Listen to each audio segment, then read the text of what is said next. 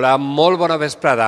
Avui els saludem des de la sala d'exposicions Collales, així a la localitat de Gandia. Una sala d'exposicions que acull l'exposició In-Out i és la protagonista eh, del programa d'avui. Anem a parlar amb el seu autor, Rafa de Corral, que ens parlarà eh, de la seva trajectòria, però també de la proposta que es fa amb aquestes obres. Són 30 obres que ocupen aquesta sala d'exposicions Collalàs a la ciutat de Gandia. I els anem a mostrar, com diem, les obres, eh, quina és la proposta que es fa el seu autor.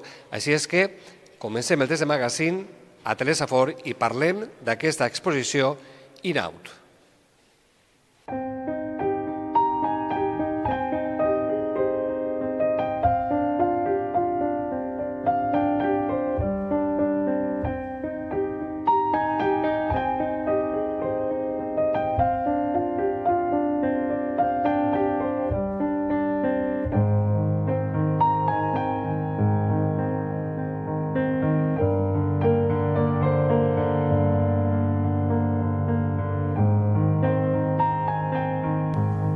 Ja saben, avui l'art eh, torna a ser protagonista en el test de magazine a Telesafor. Eh, parlem de In-Out, que és l'exposició, la proposta que s'arriba des d'ací, des de la sala municipal Collalàs de la ciutat de Gandia. Fins al 6 d'abril poden visitar aquesta obra, però nosaltres els proposem fer una visita guiada especial de la mà del seu autor, Rafa de Corral. Rafa, muy buenas tardes. Muy buenas tardes. Bueno, eh, nos hemos interesado por eh, tu obra, 30 obras que ocupan esta sala hasta el 6 de abril.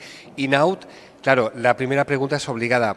¿Qué nos propones con uh, In-Out, esta exposición? Bueno, eh, para hablar de In-Out tendría que hablar primero de una exposición anterior que se llamó Insight. Entonces, tras Insight, eh, derivó a In-Out.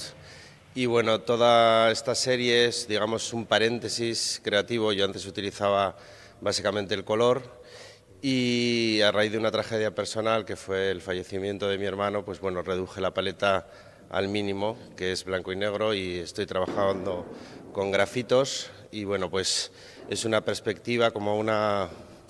Las perspectivas abiertas que antes utilizaba, que eran paisajes amplios con dos puntos de fuga, se han ido reduciendo y ahora estoy metido dentro de las estructuras. Entonces es como una especie de introspección retrospectiva sobre todo lo que lo que siento un poco y lo que, y lo que quiero plasmar ¿no? con mi obra.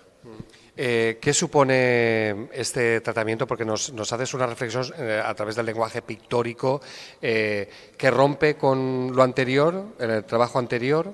Bueno, no es una ruptura ya que hay una línea y una identidad muy clara en mi obra y lo que sí que está claro es que es diferente, es diferente porque la, la perspectiva y la óptica ha cambiado totalmente, ¿no? O sea, es como que me he dado cuenta, de alguna manera, que, bueno, que hay cosas más importantes en la vida eh, y, bueno, y entonces las trato de plasmar, ¿no? O sea, es un viaje al interior de uno mismo.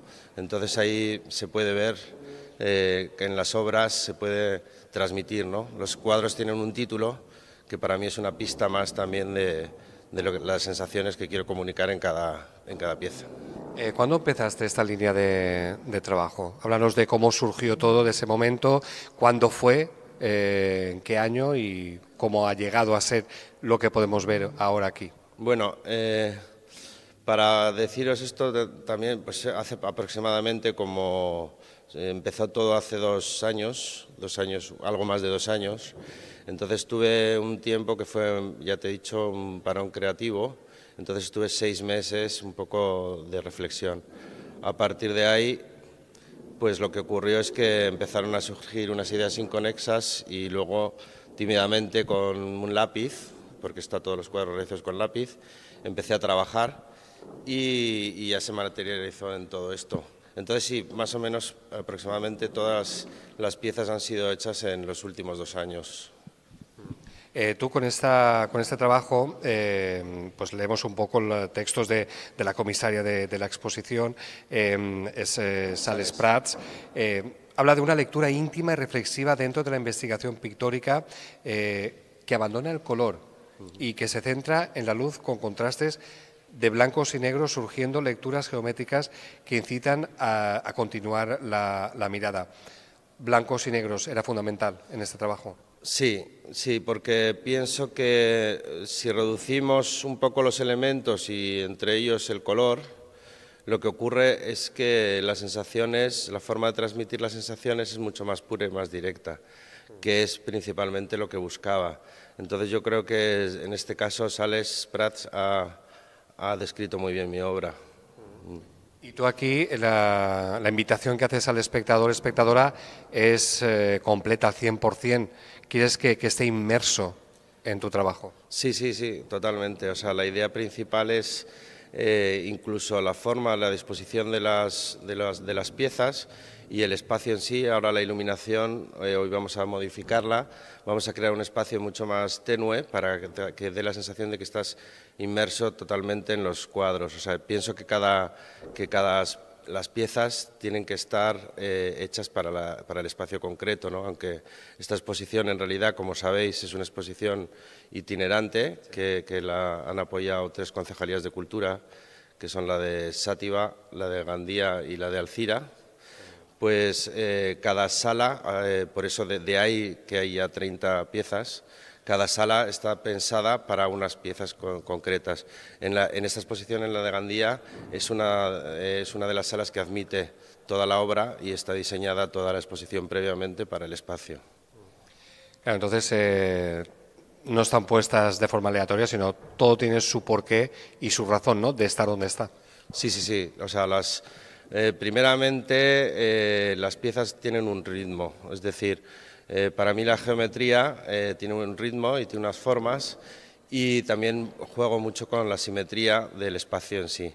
Entonces, esta sala era complicada, pero claro, he tenido tiempo para hacer una reflexión y, cada pieza está ubicada en el punto concreto. Hay una serie que implica, hay un mínimo de color que utiliza una pintura fotoluminiscente y lo que ocurre es que se producen contrastes. Entonces, en cada paño de pared, por decirlo de alguna manera, podéis ver las diferentes composiciones que están muy, muy, muy estudiadas.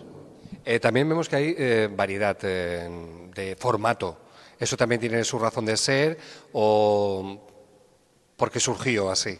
Hombre, yo creo que cada pieza, cada idea tiene su formato propio. De hecho, cuando me viene una idea a la cabeza, me viene de repente y empiezo como a verla y a partir de ahí voy desarrollando múltiples bocetos y múltiples apuntes hasta que pienso ya eh, todo, ¿sabes? O sea, hasta el tamaño que va a ser, cómo va a ser el tipo de composición, dónde va a ir la luz y la sombra, los ángulos, los puntos de luz. Por esta razón, cada pieza tiene un tamaño, es decir, si yo de repente veo una estructura que, que es de esta forma, necesitará un bastidor de esta manera, ¿no? Entonces ya a partir de, esa idea ya llamo directamente y encargo el bastidor para que lo hagan de ese tamaño y luego a partir de ahí muchas de ellas son composiciones que, se pueden ver también aquí en la, en la exposición de Gandía. Nos comentabas antes que, que Inout, eh, que es la, propuesta tuya que ocupa ahora la Sala Collalas aquí en, Gandía, es una prolongación de, Insight. Ahí hablas de, confianza, de armonía, de calma, de pensamiento. Vamos, son conceptos que reflejan mucho esto que nos has dicho antes, esa idea de un viaje hacia el interior de uno mismo. Sí, sí, exactamente. Eh, tengo la sensación siempre, a lo largo de mi vida, que he corrido mucho en el sentido de que estás trabajando y bueno, quieres llegar a una exposición, quieres llegar a otra, tienes un proyecto pendiente, te llaman de tal galería o de tal espacio, sabes, vas como muy acelerado.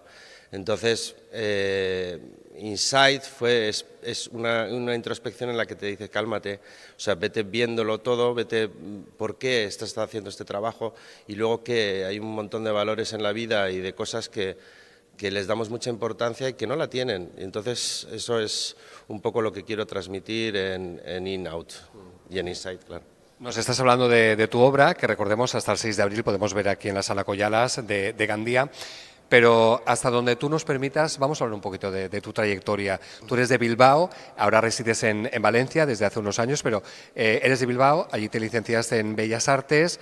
Eh, ¿Tenías claro que lo tuyo eran las bellas artes. Sí, sí, eso es una cosa que ha sido como, no sé, se, dice, ¿no? Vocacional, ¿no? De, Ha sido como una, una llamada, ¿no? Una, una cosa súper especial, vamos, yo ya cuando tenía siete años me tiraba, al, llegaba de, clase y de, parvulario, vamos, me, ponía a dibujar en el suelo con un papel y estaba dibujando todos los espacios de la casa, los ángulos, las luces, tal. Pues de forma inconsciente ya lo tenías claro. Sí, sí, sí, sí. Luego, bueno, pues mi madre y tal me apoyaba mucho, mi familia tuve la suerte de que me apoyó mucho y entonces ya me empecé a recibir clases de pintura, que iba a un pequeño estudio ahí en Bilbao de una señora mayor que tenía, me acuerdo que olía muchísimo a óleo y a tabaco porque fumaba ducados. Y allí estaba yo trabajando y pintando bodegones con óleo y tal. Entonces fue como una, una cosa que fue rodada. Luego ya estudié lo que tuve que estudiar y, nada, pues entré en la Facultad de Bellas Artes de, de Bilbao, en Lejona. Y, y nada, y luego me marché cuando acabé la carrera me fui a Londres, ahí estuve trabajando también, impartiendo clases de pintura, hice algunas exposiciones discretas, por decirlo de alguna manera, y bueno, luego me volví a España y, de Bilbao estuve un tiempo poco en Bilbao y ya me vine a Valencia.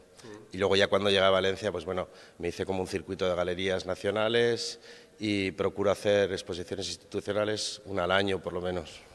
Eh, tú has estado participando en esas exposiciones tanto individuales como colectivas, tienes ya ahí un, uh, bagaje. Sí, sí, sí, tengo, tengo, una trayectoria muy larga. Lo que pasa es que, claro, hay de todo. Eh, a lo largo de. Es que estamos hablando de 20 años, entonces, claro, eh, hay muchas exposiciones que no figuran como deberían de figurar, ¿no? Y vas haciendo limpieza de, de exposiciones de trayectoria y te vas quedando con las más importantes. Esta la voy a poner. claro, eh, es la, has dicho en Alcira, aquí en Gandía y... Eh, Sátiva. Sátiva, mira, en Sátiva también fue una exposición, como te he dicho antes, que estaban todos los cuadros para esa sala y sí que pudimos jugar mucho con, con el espacio porque el juego daba mucho juego porque el suelo era de un mármol blanco y negro entonces estaban ya, las piezas hacían un reflejo y tal, el suelo pulido, bajamos mucho la luz, la intensidad de la luz para que todavía estuvieras más inmiscuido en la obra. Y bueno, y aquí también tiene su juego, ¿no? Todavía tenemos que preparar esta tarde la iluminación para mañana ya hacer la inauguración. Una cosa, has dicho, eh, acabaste Bellas Artes en Bilbao, te fuiste a Londres. Eh, ¿Lo dices a Londres mm, fue porque surgió algo casual o como artista mm, eh, uno tiene que salir fuera para empaparse, alimentarse, eh, llenar el interior de muchas ideas y conceptos y sobre todo eso, alimentarse. ¿Es una cita obligada? Mm, en mi caso sí, habrá gente que, no lo considere como, tal, pero yo me, yo me di cuenta que en Bilbao estaba un poquito ahí como más cerrado todo, ¿no? Es una cosa mucho más cerrada. Entonces, el salir fuera pues siempre te abre la mente y la cabeza y puedes contrastar nuevas ideas, cosas que no habías visto.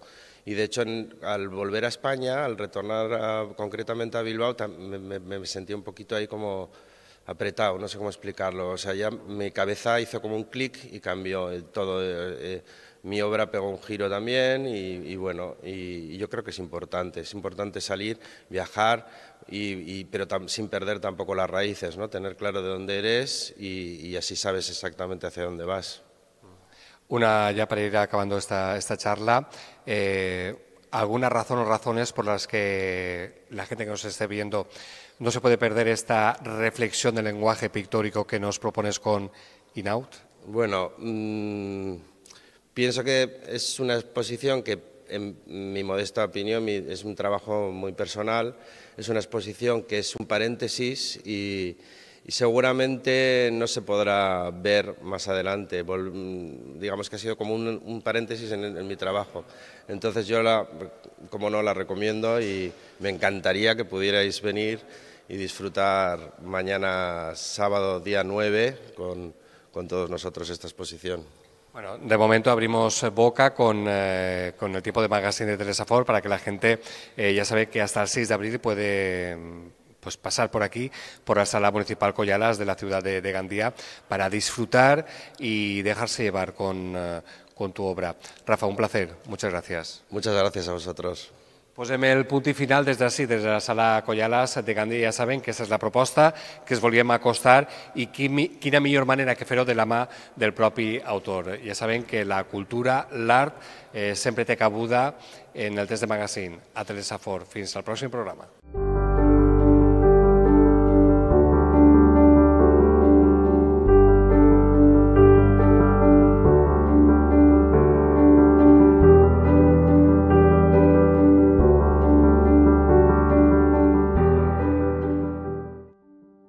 Espai patrocinat per Llibreria Ambra. Hola, bona vesprada a tots i a totes. Eh, jo sóc Lola, estic així a la Biblioteca Infantil i Juvenil i dic a contar-vos que ja tenim ahir de nou una altra edició de la Marató de Contes. Enguany anem a celebrar-ho el dia 6 d'abril, dissabte. Ja sabeu, per a tots els que es conegueu i per als que no ho heu, ho heu vist mai, matí i vesprada estarem al passeig contant contes. Esteu tots convidats a contar, i quan dic tots és tots, grans, menuts, associacions, eh, col·lectius, els que canten, els que dibuixen, els artistes, tots teniu cabuda a la Marató de Contes. Com cal fer-ho? Vos ho diguem en temps perquè de vegades s'entereu tard i veniu i està ja tot ple i a nosaltres ens sap molt de mal. Mireu, cal adreçar-se a la biblioteca infantil, vaig a donar-vos un número de telèfon, el 95 295 9595 i o bé s'adreceu físicament a la biblioteca, crideu per telèfon i nosaltres ja vos direm quin és el, el, el moment del dia que millor vos va bé per ajustar tot un planning i tot un horari. Què podeu contar? Allò que vos agrade. Jo sempre dic que el millor llibre per a contar és aquell que cadascú obri i quan l'obri s'emociona. Li entren ganes de contar a tot el món, d'ensenyar-lo. Val? Els bibliotecaris de la xarxa de biblioteques de Gandia tenen al seu abast un número importantíssim de títols de contes que vos poden orientar, que vos poden ajudar. No tingueu por, acosteu-se Val? Això també va adreçat a la gent que està estudiant els mòduls, que tenim dos instituts així en la Safor important, d'educació infantil, Vigau, conteu contes, és el vostre treball del dia a dia. Val? És, és un dia importantíssim. Després, per acabar, també tindrem una activitat musical d'un grup professional, però sobretot, sobretot el que necessitem són els vostres contes, els del dia a dia, vale? xicotius, grans, tots esteu convidats a la Marató de Contes que organitza Biblioteques Gandia. Recordeu, el dia 6 d'abril, en horari de matí i de vesprada, de 11 a 1 i mitja i de 5 fins a les 8. Vos esperem. Llibreria Ambra ha patrocinat este espai.